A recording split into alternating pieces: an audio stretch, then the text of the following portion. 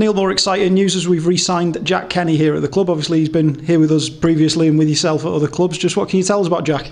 Yeah, really excited about this signing. Um, Jack obviously played with me last season at, at Flint uh, for 12 months. I've worked with him, you know, probably five of the last seven seasons at Ski, at uh, Prestatyn, at Flint. So we know exactly what Jack's going to bring to us, and he had a really strong last sort of two and a half years in the Welsh Premier League with Carnarvon and with Flint, and you know he's sort of grown into the type of player that he knows he can be and we know he can be now. Uh, he formed a formidable partnership with Mike Wild last season in the in the Cymru Premier League and I think that ultimately going into this season with looking to play the way we want to play. The more players we can get through the door that are used to my way of playing, that are used to um, offering what I'm looking for from my players, and Jack's exactly one of them. He's got a fantastic attitude, offers a lot of pace, he's a goal scoring threat. So we're really looking forward to working with him again.